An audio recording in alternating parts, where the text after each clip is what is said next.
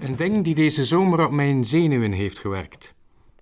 Straatanimatie van zogenaamde levende standbeelden. Eventjes, heel eventjes, was het gegeven van het levend standbeeld origineel en clever. Ik geloof dat het op 4 juli 1960 was, ergens tussen 4 en 5 uur in de namiddag. Maar het is niet zo dat er 45 jaar later nog één iemand is die daarin trapt. Dat er iemand tijdens zo'n straatfeest rondloopt en denkt: Fuck, ze hebben hier vannacht een standbeeld gezet. En kijk, daar nog één. Heel erg goed kunnen stilstaan is geen, ik herhaal, is geen kunstvorm. Het is ook geen amusement.